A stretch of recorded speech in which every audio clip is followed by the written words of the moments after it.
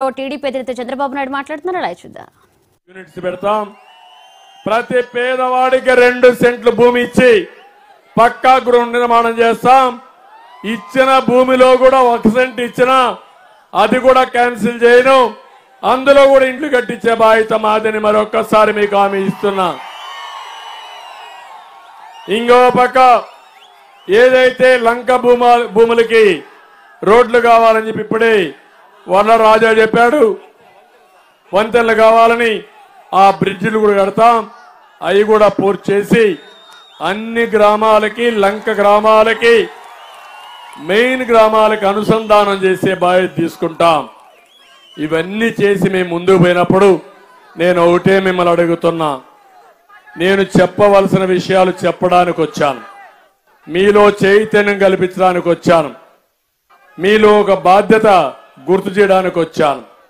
అందుకే అడుగుతున్నా ఈ రోజటి నుంచి ఇంటికొకరు తెలుగుదేశం పార్టీ జనసేన బీజేపీ జెండాలు పట్టుకోవాలి. ఇంటింటికి వెళ్ళాలి.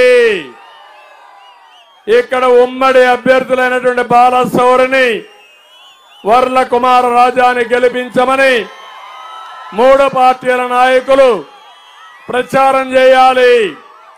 ప్రజలు సహకరించాలి. వైఎస్ఆర్ కాంగ్రెస్ పార్టీని చిత్తు చిత్తుగా ఓడించి మళ్ళీ కోలుకోని విధంగా భూస్థాపితం చేసే బాధ్యత మీది. మీ భవిష్యత్తుకు గ్యారంటీ ఇచ్చే బాధ్యత మాది.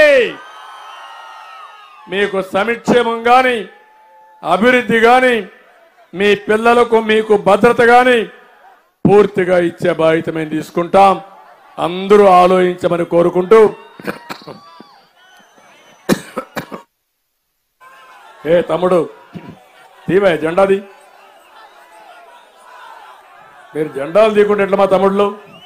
కాబట్టి మీరందరూ కూడా ముప్పై ఐదు రోజులు మా కోసం పనిచేయండి. ఐదు సంవత్సరాల రాత్రి మగుళ్ళు మీకోసం పనిచేసి మీ జీవితాల్లో వెలుగు తీసుకొస్తామని మరొక్కసారి తెలియజేసుకుంటూ అందరికీ నమస్కారాలు. జై హింద్.